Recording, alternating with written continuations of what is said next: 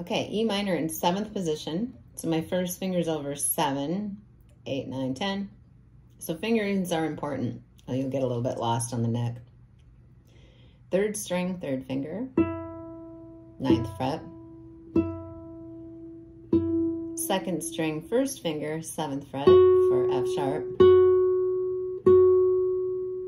Right next door for G. Right next door for A, pinky, second string.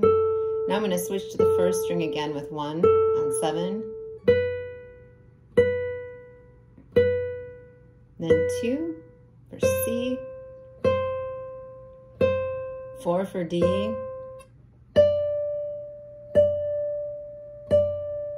And then I slide up two frets to the 12th fret where my guitar meets the neck for the E.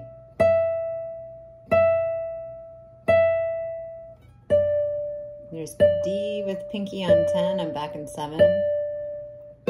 C with 2. 1 on the B. Now I'm going to switch to the second string with pinky for A. And now 2 on the same string for G. 1 for F sharp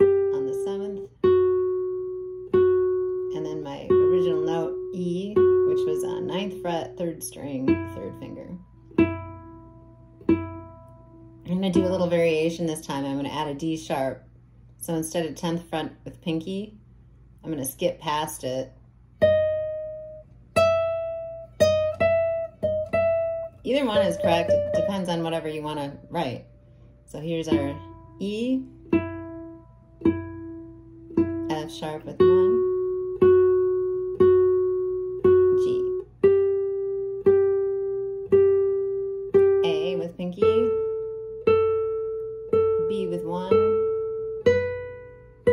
C with two, and I'm going to skip over this and I'm going to go to D sharp.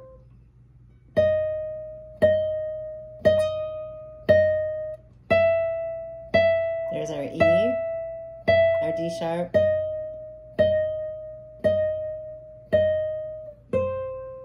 C, B, pinky A, sorry.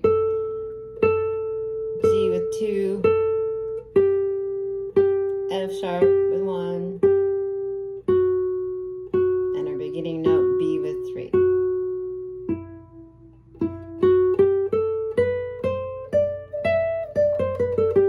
Or the other one.